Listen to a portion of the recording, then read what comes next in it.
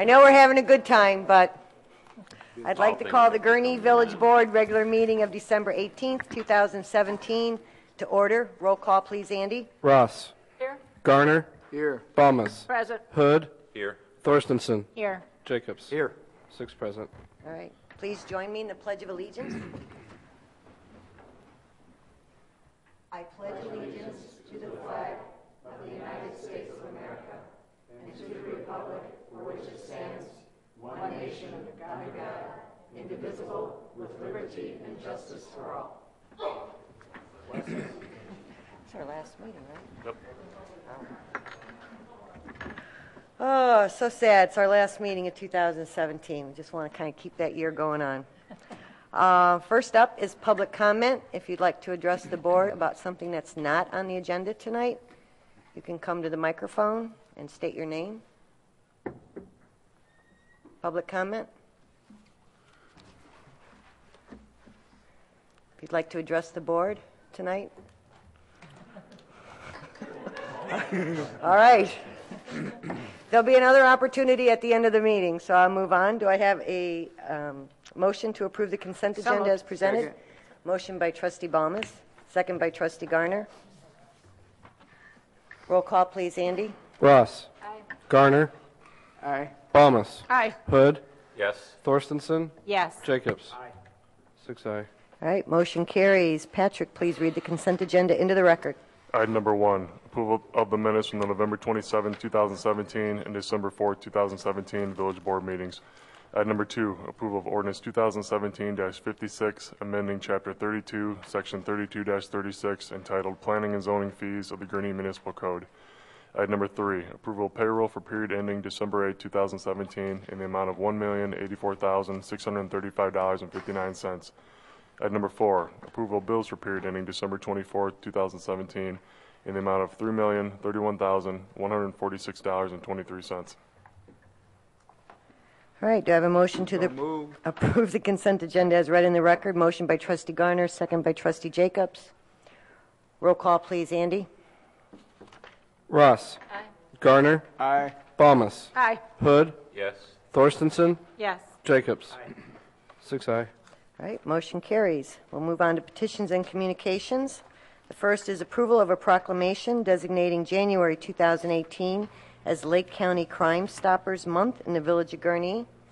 Crime Stoppers of Lake County is a nonprofit organization primarily funded by private donations, and Crime Stoppers of Lake County has paid cash rewards to persons providing information leading to over 6,759 arrests and convictions and the recovery of over $29.9 million worth of contraband and recovered stolen property since April 26, 1983. And Crime Stoppers of Lake County benefits the citizens and the businesses, business community in and around the Village of Gurnee by partnering with them and with surrounding law enforcement agencies. And the Village of Gurnee and the Gurnee Police Department fully support the efforts of Crime Stoppers of Lake County. Now therefore, I, Kristina Kovarik, Mayor of the Village of Gurnee, Lake County, Illinois, do hereby encourage support for Crime Stoppers of Lake County and proclaim January 2018 as Lake County Crime Stoppers Month in the Village of Gurnee. Do I have a motion to approve? Motion approved. Motion by trustee Thorstenson, second by trustee Balmas. All in favor, say aye. Aye. All right. Proclamation carries. Next up is a discussion of the 2018 trick-or-treat hours. A lot of varying opinions in the community. Um, I've heard from a lot of people. I think um, Jack supplied us. Yeah, we did have, I'm not- Yeah. yeah, it might have been in the last packet, actually. I know I had two phone calls, and I think we had four emails that we had included in the packet, but just casual conversation. Um, Since it was a radical departure from past habits, we thought we'd bring it back for discussion. Um, We do have some audience members that want to address the board on the topic, so I'll let them go first before I open it up to trustees. So if you want to address the board, young ladies, you can come to the microphone. It's good to see you again. Introduce yourselves. Hi, I'm Skylar. I go to Viking Middle School. I'm Clara. I also go to Viking Middle School. I'm Abby, and I go to Viking Middle School as well. Last year, we changed trick or treating in Gurnee to Saturday, and we really enjoyed it. Others also enjoyed it. We put together a video explaining why we enjoyed it, and I hope you enjoy it. It shows kids from our school. Okay. All right, very good. We have entertainment tonight. This is cutting edge for us.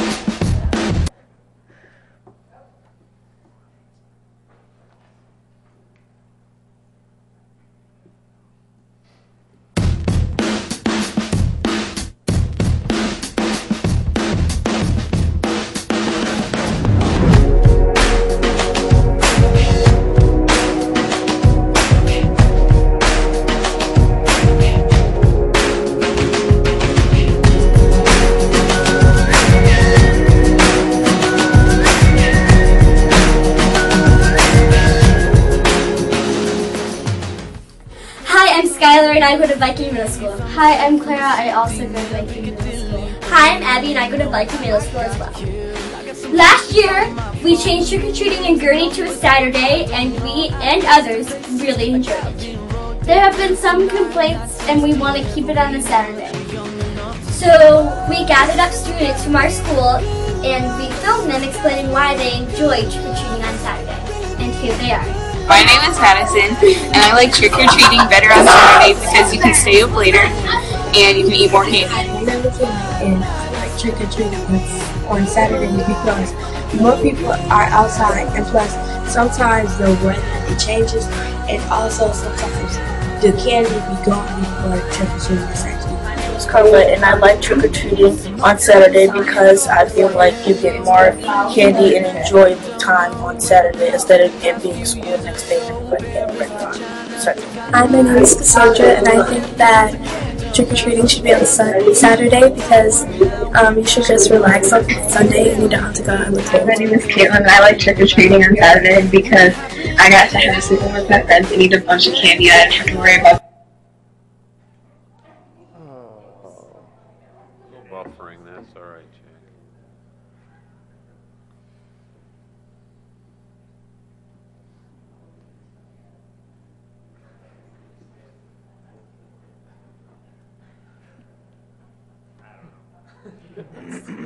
You're the tech guy. It's off the internet.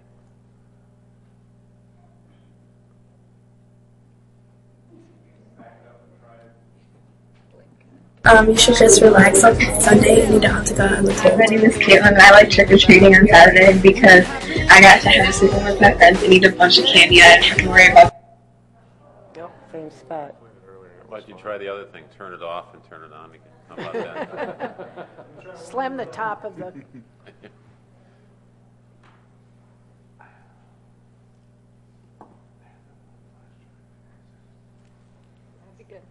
About moving that a little bit. I got it on a flash drive.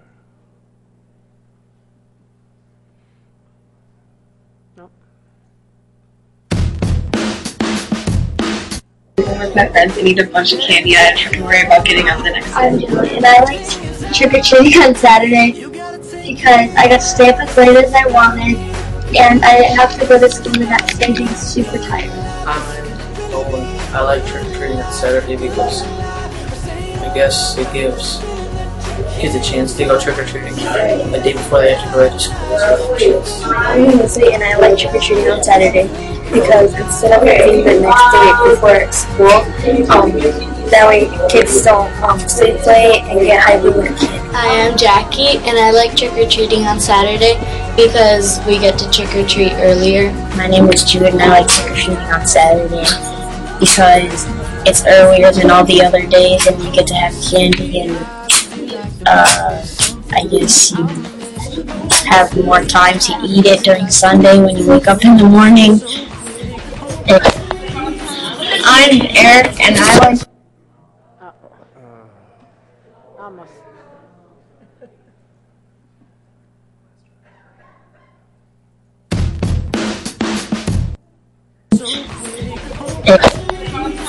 I'm Eric and I like trick or treating on Saturday because then I don't have to worry about school after.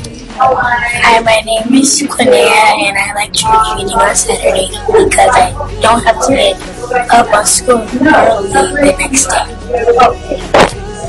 Hi, I'm Nessa. I like trick or treating on Saturday and Gertie because I wanted to have sleepover. We approve this message.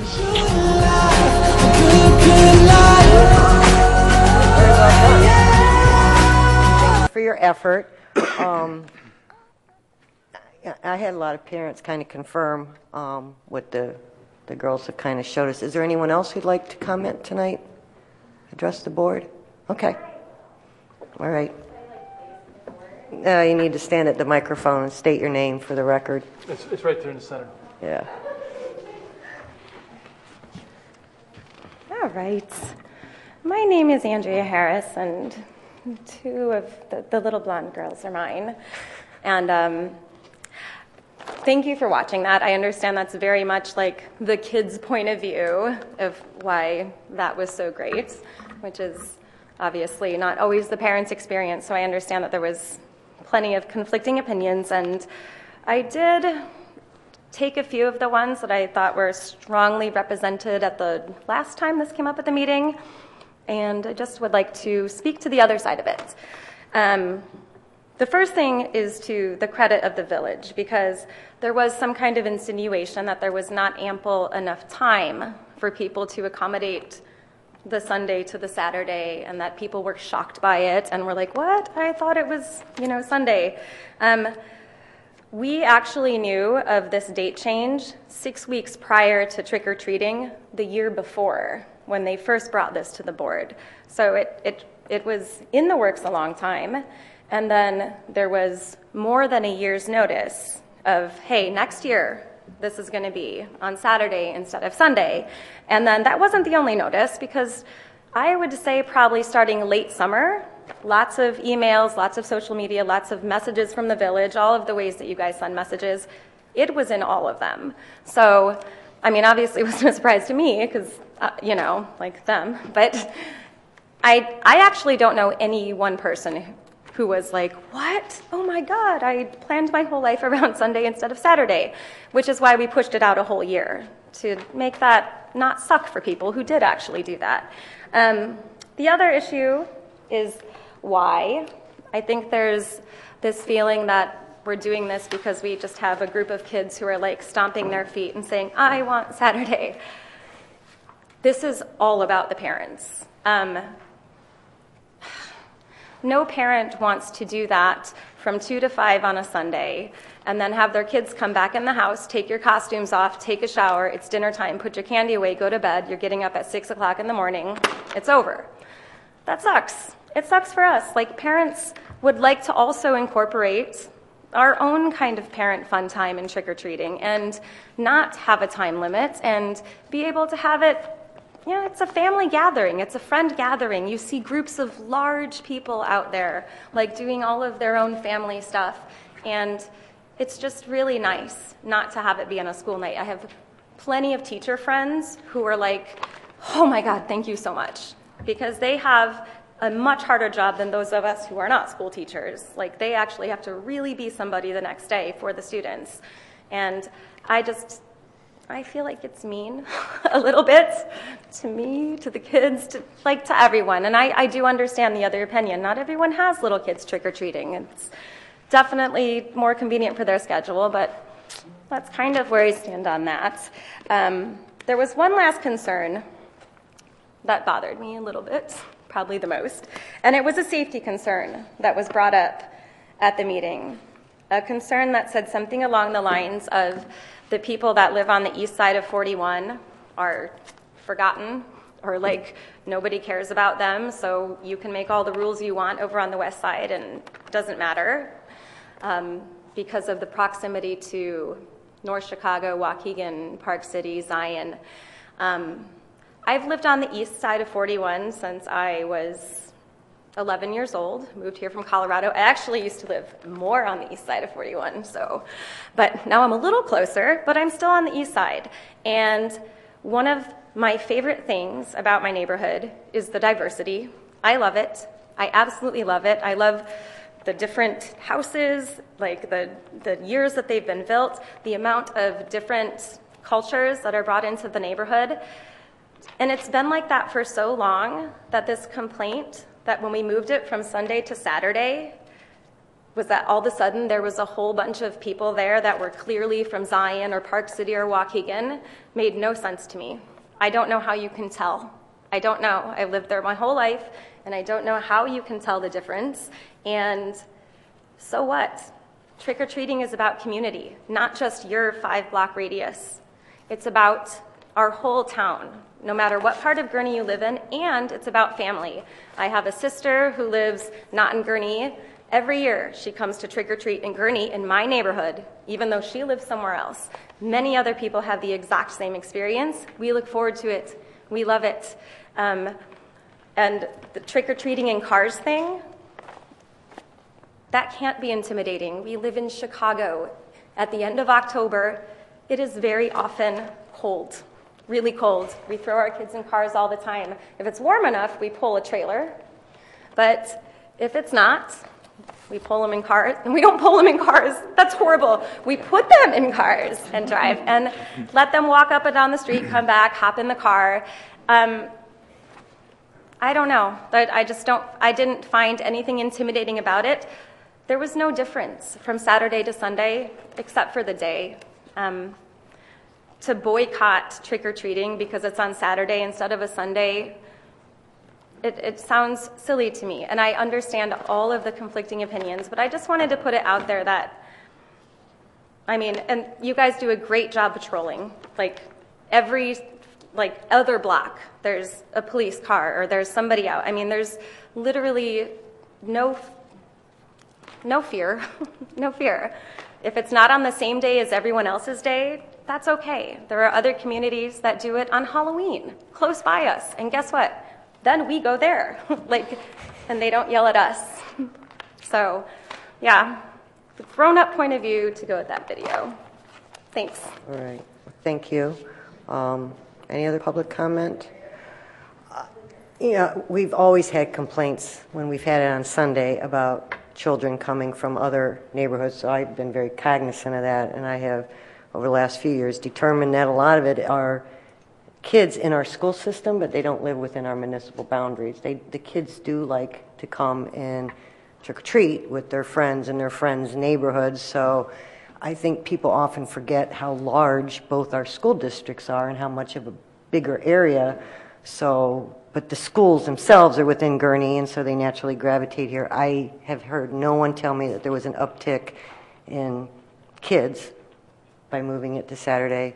Um, and I, while some of the comments were not very nice, um, I did hear from a lot of parents. So I'm, I'm anxious to hear from you guys. I heard from a lot of parents who did not want to say anything on social media because of what was going on. Um, but they said it was a lot more fun being able to extend into the evening hours as a family, not having to rush the kids to bed, not having to worry about homework and school and all that kind of stuff. Um, and then we, I, you know, there was negative, but I got more positives than negatives. But I need to hear from you guys. Now, our partners, the park district, the school district, the township, they will accommodate Saturday as long as we give them ample notice. So we would, based on the feedback we get today, we would set this in January. So all sports and all that stuff can kind of work around the Halloween schedule. So that's not an issue. It wasn't this year because they had ample notice. I want to make sure they get it next year too. Um, anybody else hear any feedback, good or bad? Or I guess it's not bad feedback, but positive or negative about Saturdays and Sundays? I know you're a, you're an October 31st person. um, but Mike, our trustee. No, neg- no negative feedback. Okay. Yeah. Trustee Um, Thornton? So some of my neighbors asked if we were doing anything to quantify the feedback. And um, so it sounds like you gave, you said proportionately it was positive. Yeah, because I had a coffee right after that, so it was fairly easy for me. And I'm at a lot of events, so I wanted to make sure that I was getting a balanced view versus the emails and the two phone calls. Um, But again, how do we quantify any of our decisions? It's what we hear from residents, so um, only a handful took the time to be negative, but, you know, then that puts us in the bubble if we don't reach out or hear or go out and talk to other residents. Well, I didn't count the number of students that were on the video, but it seemed like there was maybe 20 that were supportive it, towards it, so I think we could add those in, and and therefore I support it. I know you had a bad experience on Halloween. You probably just want to skip Halloween altogether. Well, i- if I may add, I mean, the- the, the um, negative feedback that we got from uh, our one resident last month that came in, um, I, I I don't know if she actually took the time to weigh her views and do her research, because when she came in and was very accusatory, um, I, I- know that she didn't take the time to review how the vote and the considerations were made, because I know that uh, some of us did not actually participate in the making of those decisions. So I, I do not know how well reasoned her views were on the subject. So I think we have to look at and consider everything that's said, pro and con on the subject, with a grain of salt. Um, and you know, I, I think everybody does have a, a um, you know, does have a, a, a have a, an opinion on the subject, and I think we need to listen to them, but understand that some of them may not be very well reasoned and well thought out. Trustee Garner, I know you have kids still in the school Um, yeah, I, I just think, you know, we have to remember that Halloween is about the kids.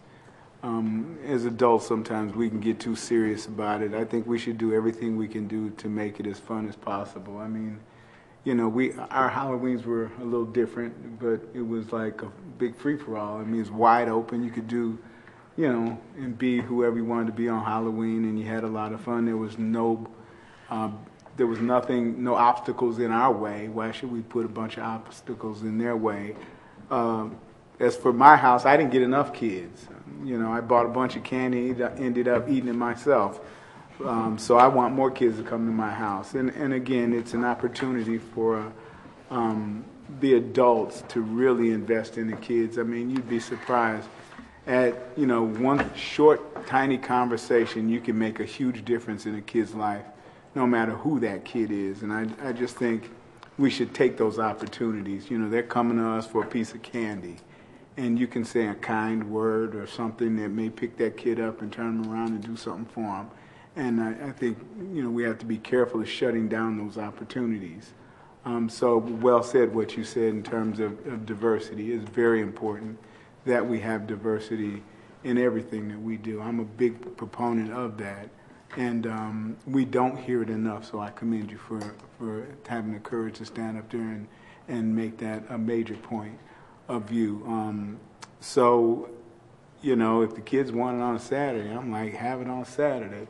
Now, as adults, we do need to do our part to make sure it's a safe ti time for the kids, but we want to also make it a fun time for the kids and not detract from it. So, you know, and you're always, you know, you know, it's difficult to make everybody happy, but again, if we remember it's about the kids, I think that, um, you know, Halloween will survive, and so will they.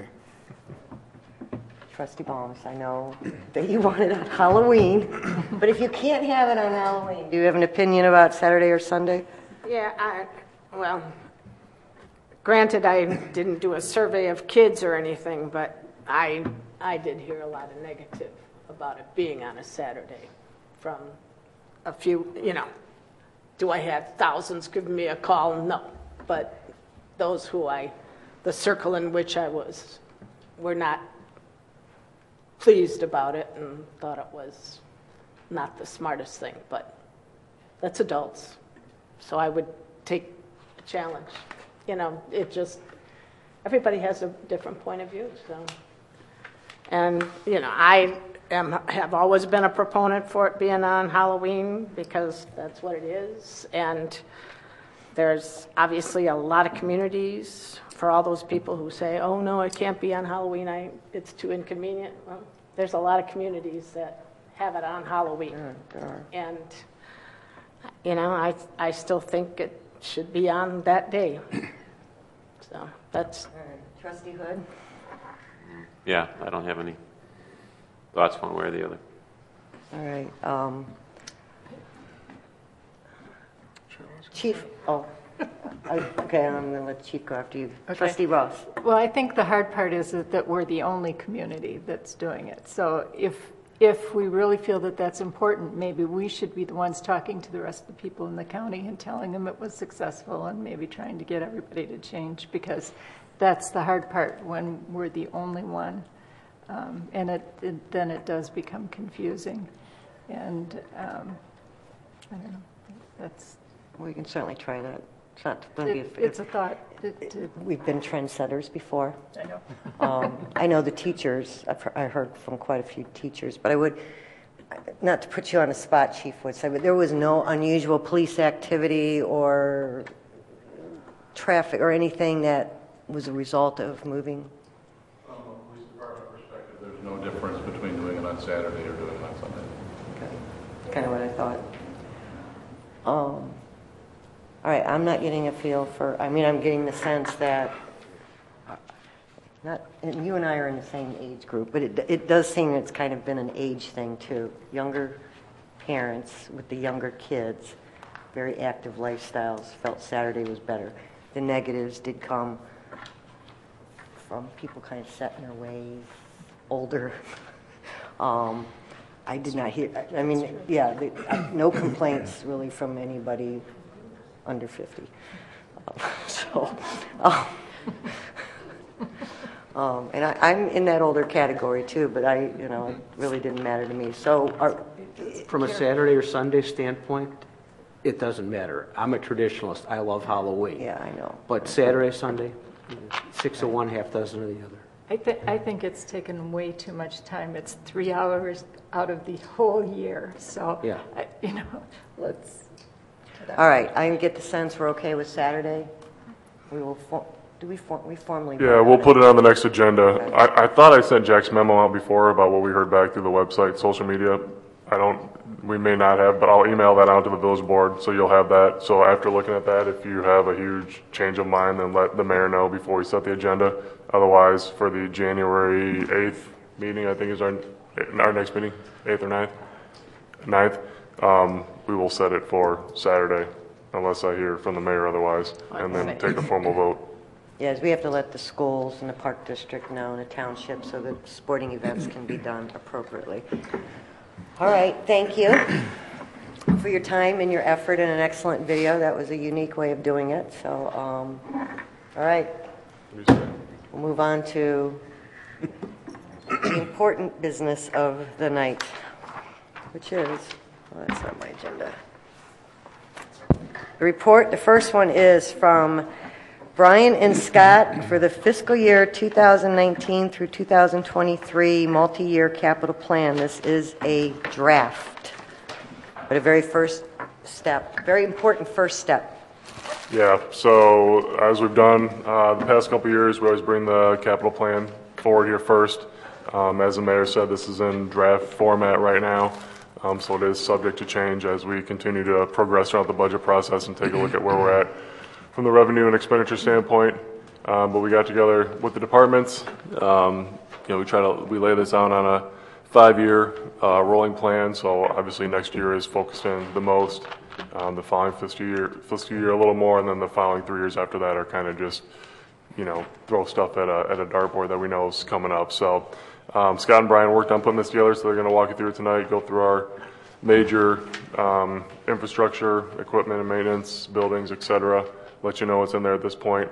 Again, as we continue to move out through the budget process, um, anything that you have questions on, or something looks funny, or something you think needs to be changed, um, obviously let us know. At this point, we're shooting to have the budget book to the board um, in mid-February, try to get the village board members in for the one-on-ones or the two-on-ones with um, Brian and I the end of February, and then our budget hearing is set for March 5th at 5 o'clock. So, so I'll kick it- kick it to Brian and Scott. All right, thank you, Pat. Um, Included in the material was the draft document Uh, No changes here from last year on the makeup of the document, eight sections, kind of higher level overview, and then details into each system, and then the appendix is simply just our fixed asset policy in the back, so. Uh, Looking at our funding strategy, not a whole lot's changed from last year. Uh, We remain primarily pay-as-you-go, uh, with the exception of the Knowles Road Water Tower, which uh, we're looking at an IEPA loan that'll start ramping up here fairly quickly, um, at least for a portion of that. Um, Obviously, being pay-as-you-go gives us flexibility with, as we're primarily relying on economically sensitive revenues, it gives us that flexibility to scale up and down on the capital side as needed. Um, Large part of the water and sewer side um, is, or non-water and sewer side, excuse me, is funded from home rule sales tax. Uh, On the water and sewer side, we look at that long-term rate plan, uh, where we talked about that JAWA rate dropping off a little bit there to help us bolster that capital plan. Uh, Also, general fund surpluses, that's a significant source. Um, It's one of the reasons why we budget so conservatively in the general fund and the water and sewer fund. Uh, Obviously, we transfer those funds at the end of the year, um, if they're available, to uh, help fund capital purchases. Um, And then finally, we talked about through the forecast in the last couple of years, utilizing uh, expired debt service to also bolster the funding for the capital plan. Uh, Just looking real high level at the numbers here. Uh, The plan for fiscal year 2009, or 2019, sorry, wow, uh, totals 11.9 million, uh, includes 5.6 million in water and sewer projects, most notably in there the Knowles Road Tower in fiscal year 19 and 20. Uh, Almost 3.5 million in transportation, 1.5 million in vehicles and equipment, uh, 865,000 on buildings, and 470,000 on stormwater management. We'll go over each one of those in more detail, or I should say Scott will, most of those points, so.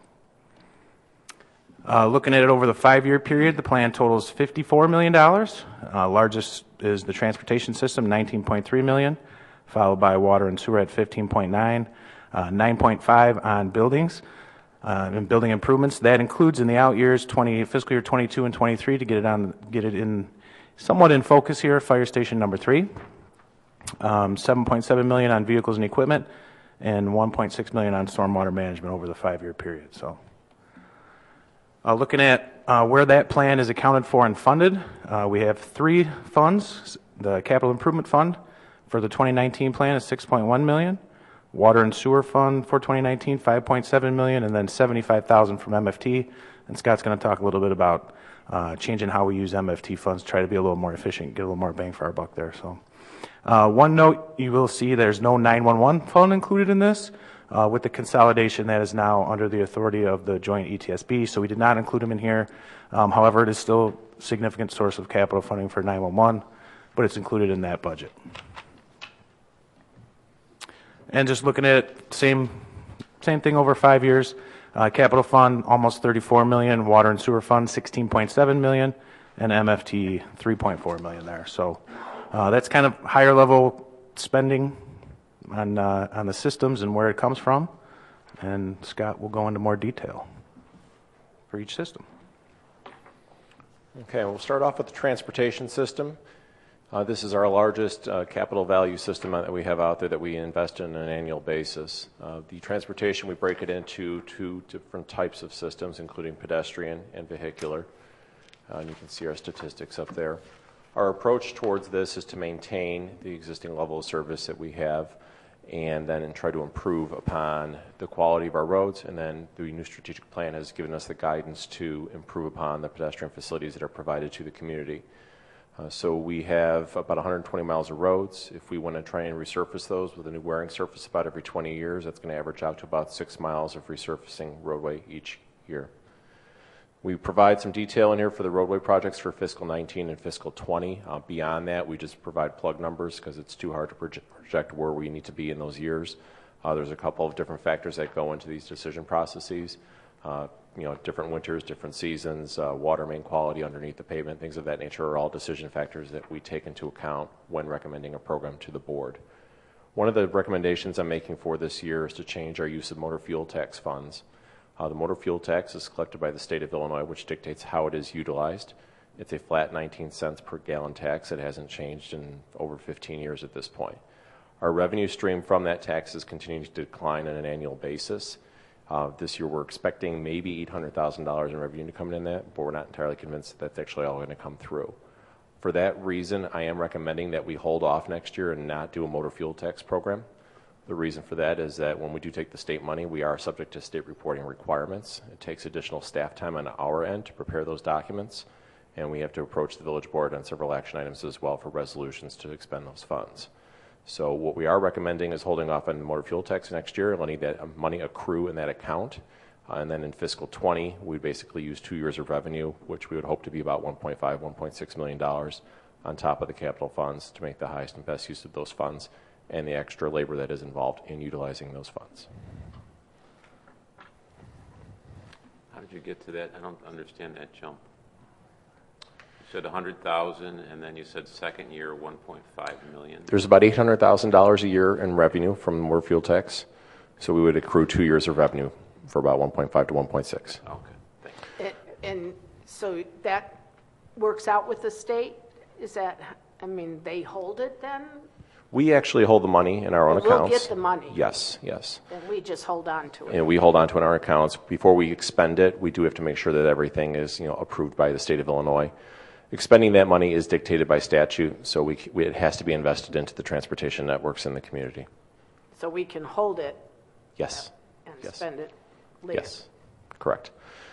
So we provided uh, two maps up here, and I want to point out on these fiscal um, fiscal year 16 and the next one will be fiscal year 19 maps. These are the pavement condition indices that we've provided. Um, the, the block areas are the areas we've spent a lot of time in the last three years in making improvements. Uh, we're going to flip the slide here in a, just a moment, and um, one of the things I want you to focus on is uh, Ravinia Woods, Stonebrook, uh, Bittersweet area over here on the east side of town, Magnolia, Belle Plaine, uh, north and south of Grand.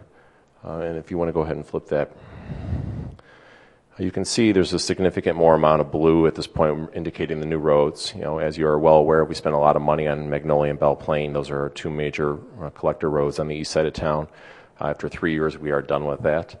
And uh, the, the results are fantastic. You know, Stonebrook, Ravinia, Bittersweet is all looking really good now. Uh, as you can see, though, you know, every year that goes by, roads do continue to deteriorate. So while we made improvements on these segments, we did start losing stuff like Greystone in the Greystone subdivision. So you start to see the deterioration curves increase. Uh, Greystone's about 15 years old now. Uh, it's the first resurfacing since original construction, and it's getting to that point where we need to start looking at that next three to five years. On the total fund, we're looking to expend about $3.5 million into the transportation system. We'll earmark about $200,000 of that for engineering consultants to help out with the road program. Uh, the bottom line here, we have about $2.6 million we're going to be doing in resurfacing. Again, this excludes motor fuel tax. Uh, so this is just general fund, capital funds only. Uh, we at this point, I'm pretty comfortable that we can do about a million and a half dollars in-house. Beyond that, we need additional resources, either an additional in-house staff or consulting staff. So the consulting plug there is about one full-time equivalent for the summer months, and then the additional charges will actually be used for design for the following year, which would be 20, and or material testing that we have to do to make sure that the quality of the mixes and concrete and everything like that is up to spec. And as directed by the Board of Trustees, uh, we do have $100,000 earmarked for East Grand Avenue, and that's to help revitalize East Grand Avenue corridor. Uh, this year, you're well aware, we did some landscaping improvements out there, and uh, with great success. Uh, we are also going to be doing some concrete work out there uh, probably early next spring into next summer, so that's already been awarded. Uh, we did that a couple months ago. We have $175,000 being proposed in the budget for new sidewalks. Uh, the, what I'm looking for next year is probably going to be like Washington Street and Hunt Club, trying to get that pedestrian connection completed. Um, I also have carryover funds on this because we just awarded the Knowles Road path. It's not under construction yet. We expect them to start in March-ish, weather permitting. So, but if it's not done before May 1st, I do need to carry that money into the next fiscal year. So that's kind of a carryover. Uh, street lighting is a new item for this year. We have actually been doing street light upgrades on the roadway networks as we repave them. So the engineering division goes out, we fix the sidewalks, the curbs and gutters, replace the road. Public Works Department's actually been following up behind us as we do those in the last couple years and replacing out the streetlights. We're upgrading them to LED technology. We're upgrading the poles themselves, uh, making things, improving the whole area. Um, this allows us to get out of that neighborhood and stay out of there for 15 years, so we don't have to come back. So this year, we're, I'm pulling it out as a separate line item so we can accurately for, uh, account for those costs. The 2019 program, um, this 2018 construction season, our big one this year is going to be Almond Road. So we talked about this a couple months ago, I think in June, July. We have about a one, $1.2 million Almond Road improvement. We're going to be resurfacing the entire length of Almond Road from Washington Street up to Grand Avenue. Included in that will be an intersection improvement at Data. We are currently going through design phases on that, and at this time we are looking at doing a mini roundabout. We don't have enough acreage to do a full-blown roundabout with, you know, landscaping in the center, but we can do something with a mountable median out there. We're not done yet. We're still working on that, so if you have any feelings on that one way or the other, please do not hesitate to bring them to my attention. As you can see, we're also going to do some sporadic uh, resurfacings. Uh, Stonebrook area up in, uh, let's, say, let's say Boulders up there, some in Providence Oaks, and then on the east side of town again. In fiscal 2020, uh, you can see we're doing a little more capital spend here on, on the transportation network. Uh, crack sealing, so this is just normal preventative maintenance for sealing up cracks in the asphalt pavements. The consulting line item is increasing here, as you can see, because the roadway line item at the very bottom there is also increasing commensurately. So those two are kind of linked together. Uh, East Grand 100,000. At this point, um, we don't have any specific items we're going to be doing at that at this point. It's because it's two years out. Sidewalks, same thing. I don't have a specific project, although we have a lot of great ideas from the Blue Ribbon Commission. So we know where we want to go with that, and it's just a matter of you know cherry picking the right project to fit that budget amount. And again, the street lighting item will be programmed into 2020 as well. The roadway program uh, is shown here, so we're starting to get into those areas that we've seen declines in. Uh, we have Greystone specifically, which I just called out. That one is actually programmed in there for 2020 fiscal, which would be the 2019 construction season. And then we're going to continue to work our way out of like Providence Oaks and start working into the Providence Villages areas. Stormwater management. Uh, this system includes all of our conveyance, storage, and flood risk reduction activities that we undertake. Our approach here is to maintain the existing level of service throughout the community. In fiscal 19, uh, we're divvying up $470,000 as follows. I've got $110,000 earmarked for floodplain acquisition. We have three properties, one on Emerald and two on Kilbourne, that are currently in the FEMA process. They have a very high ROI with FEMA. We're very confident that we have a good run to obtain those properties. Our local match, 25%, would equal about $110,000 for the three of those. The other items that we're going to be doing is after the, uh, the rain events we had this summer, we have an idea of where we have to do some drainage improvements out there. There's a lot of small stuff that I have included in this, um, but one of the bigger ones we have is the Providence Village area. Um, I've got about $250,000 earmarked for Providence Village. That'll only be phase one, uh, just because of the size of the community that's going to be impacted. This is a line item that's coming out of our discussions that we had at the last month's discussion regarding the Providence Village drainage situation. In fiscal 2020, the number increases even higher.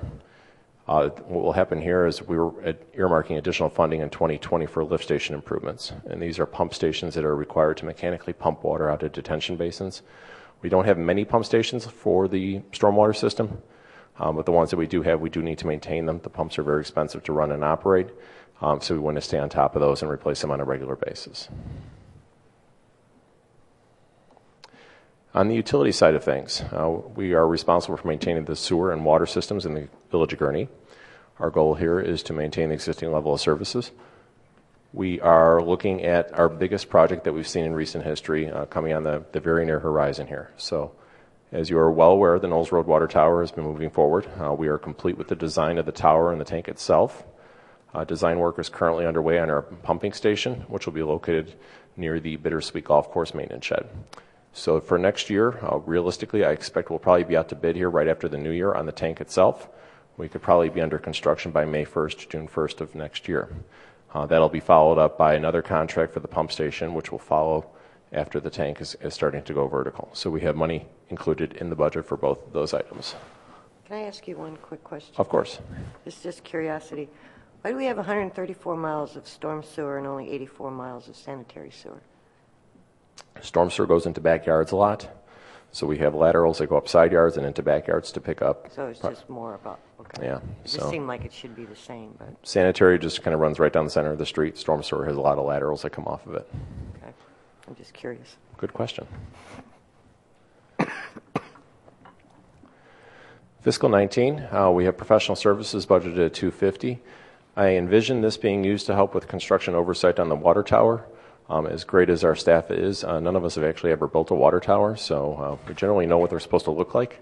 Uh, but uh, we're probably going to need some help with the details on that. So I do anticipate we'll bring on one body um, that should consume about that amount. On the distribution side, I have $840,000 plugged in. This is going to be to replace the Hunt Club Road water main between Washington Street and Gages Lake. Um, if you remember my slide a couple months ago, we had some awesome geyser pictures. Um, that is the water main we're looking to replace next year because of the liability that it poses out there. Um, for the storage side, this is going to be $3 million with a $4 million tank. I don't anticipate they'll actually finish it all in the fiscal year, so the next year, fiscal 20, we'll see a $1 million carryover on that. Um, for the pumping, the million dollars in pumping here, this would be to start off the pump station over at the Bittersweet Maintenance, maintenance Yard. On the sanitary side, I've got about 550 earmarked for this. Primarily, this will be used for lift station improvements. Uh, for same, similar to the stormwater stations, we have pumps, control systems that we need to upgrade. Uh, we, we want to continue televising and cleaning out our sanitary sewers, and we want to continue to make repairs to those sanitary sewers as we identify problems similar to what we just had on, on Route 21 over by Primo. The location for the water improvements that we specifically have in mind here will be Hunt Club Road here, the pump station up here, but the, and the Knowles Road water tower up in the corner there. All right. All right, looking at um, vehicles and equipment, uh, we try to look at these kind of on a 20-year basis so we know when large, more expensive pieces of equipment are coming in. You remember we had the ladder truck last year, a couple years ago, had a, had a big spike in the funding there. Um, so we have a total of 101 vehicles, 23 pieces of equipment. Some of the vehicles are shared between uh, public work and equipment are shared between the public works divisions. Uh, total replacement value here about just over 16.3 million. Uh, as I've, I've, mentioned this a few times between uh, the capital plan and the and the forecast, um, one of the things we can do to smooth out the funding requirements for this is to put put it in a new fund. Uh, just have a fund specifically designated for vehicles and equipment, and kind of fund that on a five-year rolling average. Uh, that obviously will require some upfront money for that fund, and the timing is just not right to do that yet. So, um, but I didn't want to take it off the slide. Just wanted to mention it again. Um, when the timing's right and, and we were able to give that a little seed money, so to speak, uh, it's something that, that I'd like to take another look at. Uh, also included in this category is technology improvements. Uh, Chris does a great job working with departments and, and also doing uh, general IT network projects. Um, and he keeps a very detailed five-year plan million acronyms on there. I don't even know what they all mean, um, but I can tell you it is uh, it's very detailed. So um, he he gives me that, and we plug it into the plan here. Looking at fiscal year 19, total for the category 1.5 million. Uh, we took a harder look at this area this year, um, and, and, you can start to see the, the investment in the fleet starting to pay off, especially this year. Um, but we'll start with technology improvements. Total 258,000. Um, it includes some projects for data storage, uh, the Emergency Operations Center, uh, document management imaging system, preemption system, warning sirens, uh, EMS software, and then just some general network projects here. Now getting into the vehicle and equipment side, uh, the police department, uh, look through their vehicles and vehicle, vehicle and equipment list, and uh, four new squads are proposed. On the fire side, one fire engine, Obviously, that's 625,000, so it's a makes up for uh, not having another piece of equipment in there.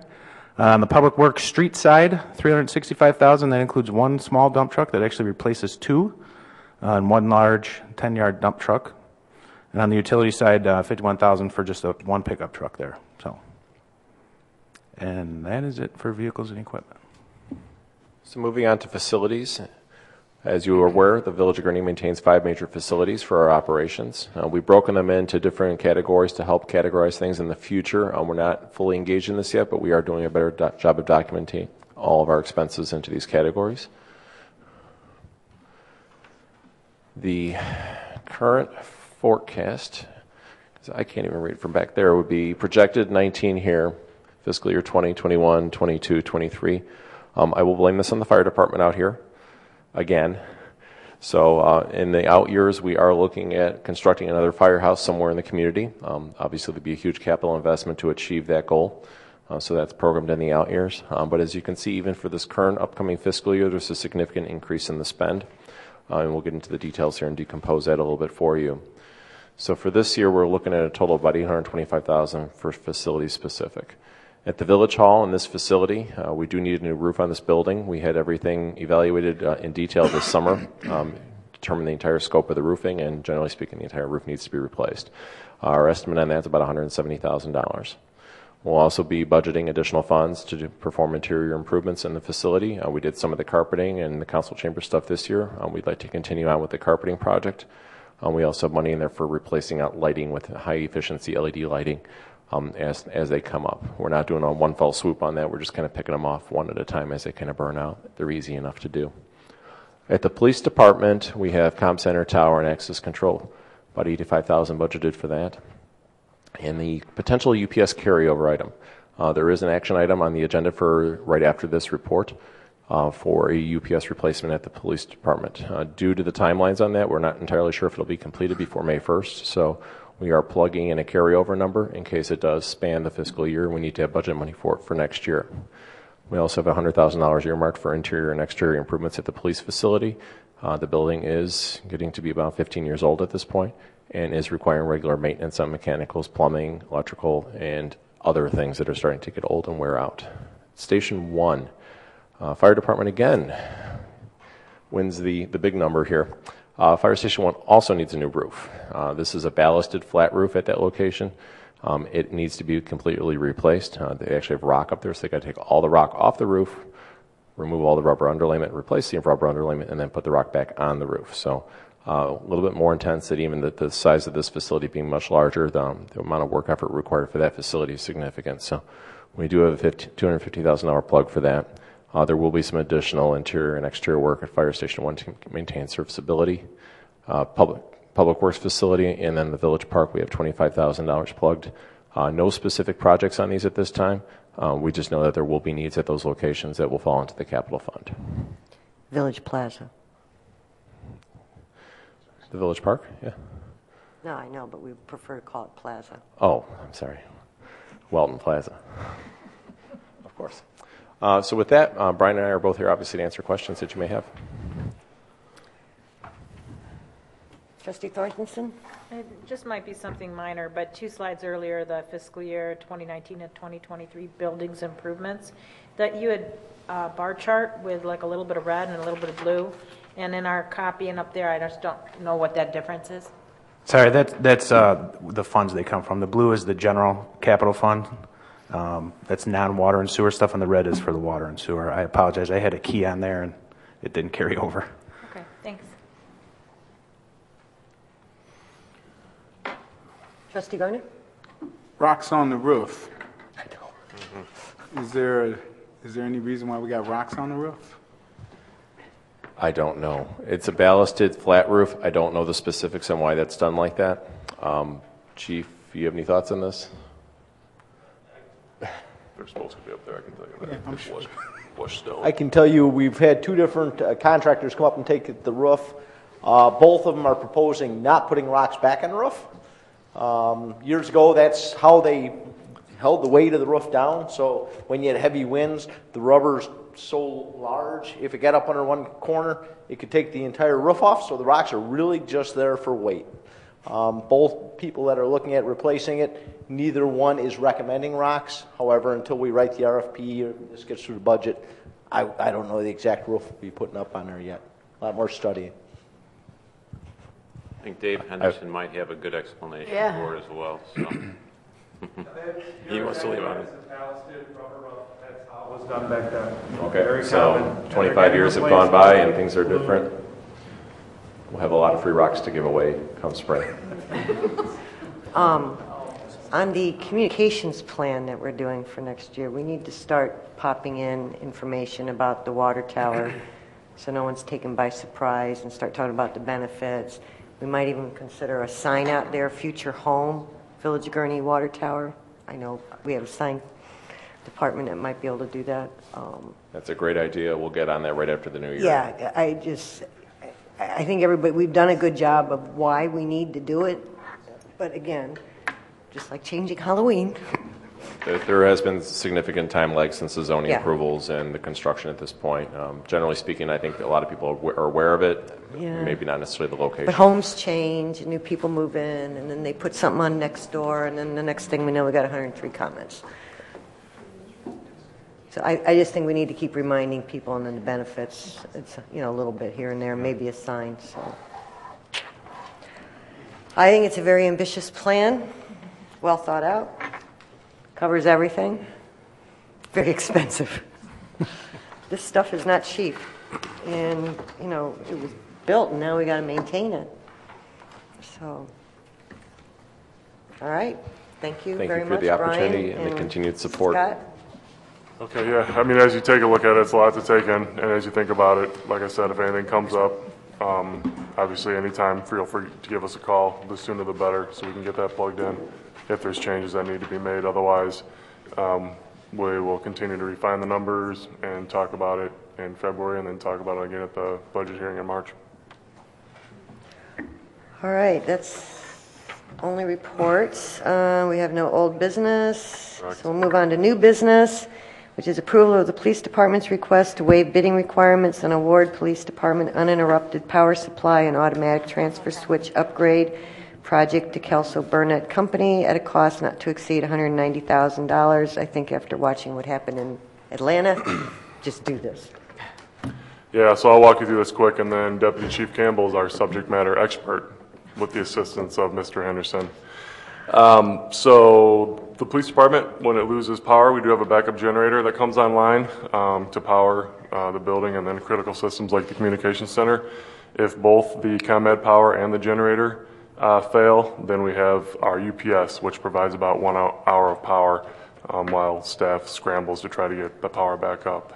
Um, When it was in- constructed in 2003, it was designed with a single UPS and a single automatic transfer switch, and both of them are a single point of failure um, for the building. Um, We've known this for some time now, and it's kept many people up at night thinking about worst-case scenarios if both the generator and ComEd power went down.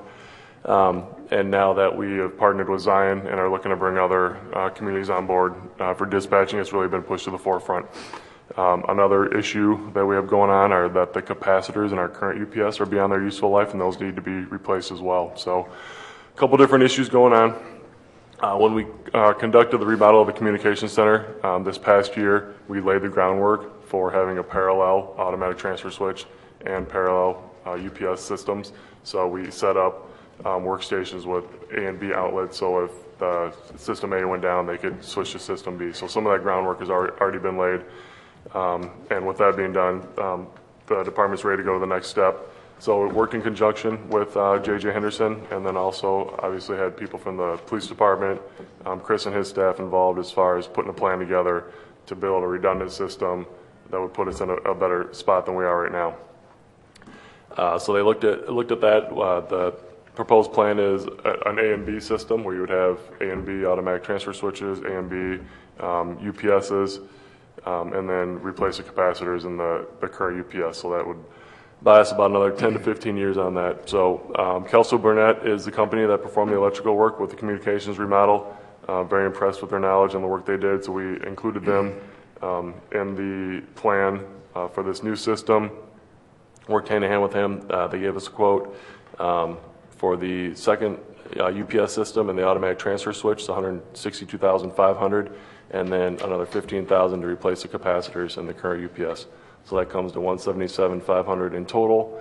Uh, Given the complexity of the project, staff's requested that a little wiggle room uh, be built in, so we're requesting a not-to-exceed limit of $190,000.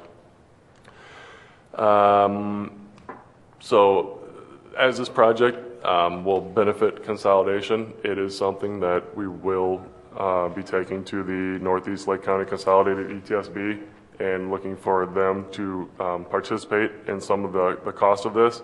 So the initial thought is that we would bring 50% of this um, to that group and ask for reimbursement. Obviously, that's a, a separate board um, that would need to consider that and vote on it.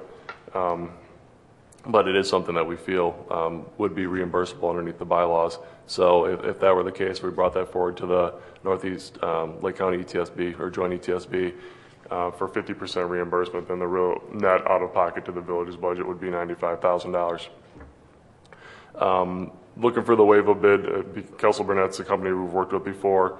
Um, If we went out to bid on this, it would require detailed electrical drawings, et cetera. That would just extend the time frame and push up the cost. So we don't think going out to bid is really going to be any savings related to- to either time or money. Um, And as I said, you know, this has existed like this for a long time, but the sooner we get this done, um, the sooner a lot more people will be sleeping better um, at night and, and just protect us, because as the mayor said, we don't want to have a situation where the communication center goes down and then get it back up, and Chris and his team having to restart all that stuff. I mean, they have no idea how Yeah, long that would take. This take. isn't just the electricity, this is the technology that goes out Yeah. too, and that's, So restarting all that stuff would not be good. So as I said, um, looking to move forward with this uh, with Kelso Burnett at a not to exceed of $190,000 um, under the pretense that we would be taking a request to the joint ETSB for reimbursement on a portion of it. And that's my 10,000 foot summary. So if Did he there's miss anything? technical questions, I'm not your guy. Those people are out there. Excellent. I appreciate you and Deputy Chief's work on this too, and making, and is too, bringing it to the forefront, getting the sense of urgency around it and figuring it out. guiding everybody. He's my personal hero Good- on many good team- occasions. Really good team effort. I know, I know, but you are always, you've been my, a personal hero on many, on this project many times, so greatly appreciated. Questions from the trustees? Trustee Jacobs? What happens if we don't get it back up and running after an hour?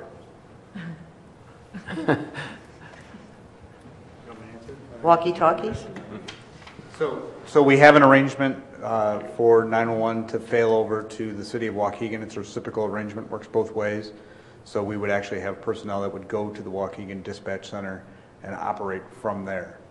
Um, That's been in place for, I think, since 1991, something like that.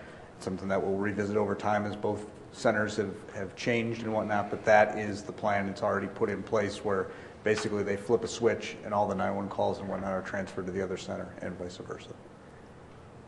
But that time that you have on the UPS gives you enough time to start put those, that all in motion so that if you need to do that for whatever reason. Now, we decrease the chances of having to do that because now we're eliminating single points of failure. We'd be able to operate on one half of the system and still dispatch from our location. So it increases the, the chances that we wouldn't be in that situation, but you still need to plan for it. You never know exactly what the circumstance is. If it's a tornado or something like that, you can affect, uh, you know, all the systems in a particular building. I hope that answers your question. Sure. Now that just brings on another question. You just brought up a tornado. What if a tornado comes through town, heads east, and knocks out Waukegan? Well, I think, I think what you'll see in the long-term plan, um, when you see what Lake County is looking to do with regional dispatch and consolidation and things like that, that you're going to see um, buildings and facilities of a nature that could even withstand a, a direct hit from a tornado. That's the long-term uh, planning where this is going. You see a few of those centers around the state, not very many. But that may be long, long, long term in terms of how that develops. But I know that the county is, is interested in it. Um, We're going to revisit our backup uh, facilities over time here, but uh, it's not something we're looking to take on at the same time we're, we're wrapping up things with Zion and other potential partners.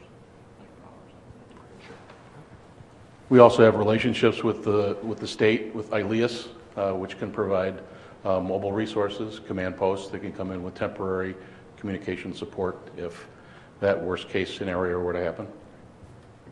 All right. Thank you. Trustee Thorstenson?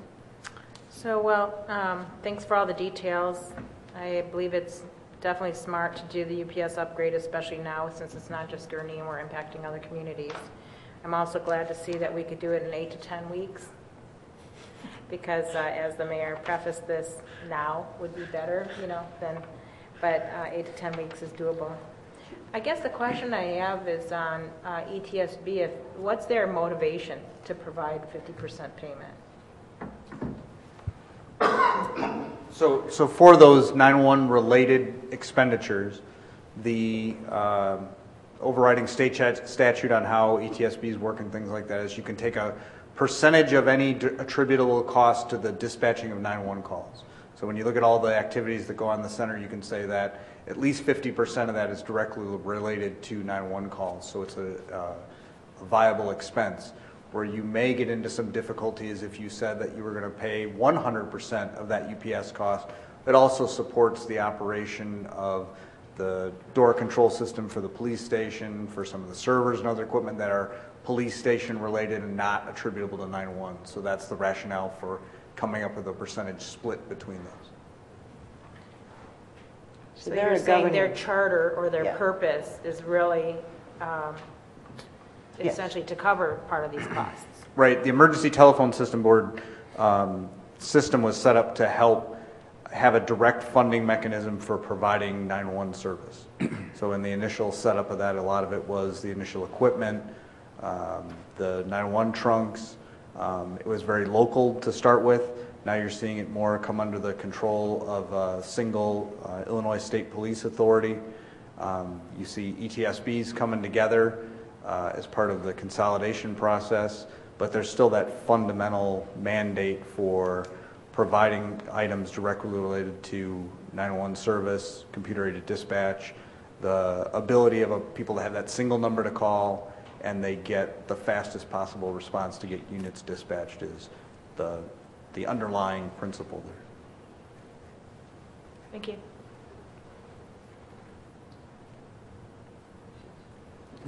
Make a motion to approve. Second. I have a motion from trustee Balmes, second from trustee Thorstenson. Roll call, please. Ross. Aye. Garner. Aye. Balmes. Aye. Hood. Yes. Thorstenson. Yes. Jacobs. Aye. Six aye. Motion carries. Good work. This is the kind of stuff that keeps us off CNN.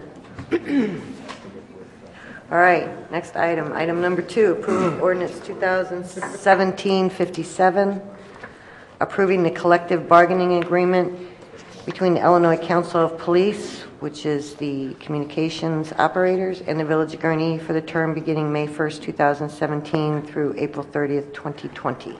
Sure. Uh, We talked about this back in October in an executive session. Um, Nothing has changed since that time. We're just waiting on the the bargaining unit to vote on the contract, which they did, uh, passed unanimous- unanimously. Um, Just a reminder of uh, some of the highlights, uh, CPI formula for wages, which was already being used for this group and is used for uh, police and fire as well.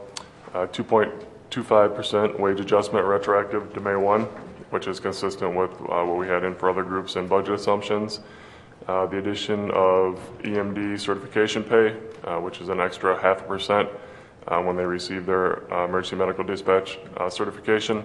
This was in exchange for uh, top pay employees no longer being eligible for a non-recurring bonus. And then finally, just a three-year term on the contract. So uh, pretty straightforward, and as I said, no changes from what we talked about um, last time we discussed it. Questions?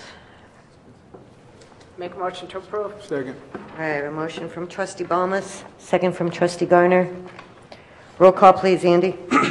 Ross. Aye. Garner. Aye. Balmes. Aye. Hood. Yes. Thorstenson. Yes. Jacobs. Aye. Six aye. Motion carries. I will reopen the floor for public comment if anyone would like to address the board tonight. And Come to the microphone. If not, I will say Merry Christmas, Happy Kwanzaa, Happy New Year. We'll all get to- back together in 2018. So it's been a very good year for us, and I I sincerely hope you all have a wonderful holiday, safe with family and friends. So with that said... So moved. Motion to adjourn. I have a motion from trustee Balmes, second from trustee Jacobs. All in favor, say aye. Aye. We are adjourned.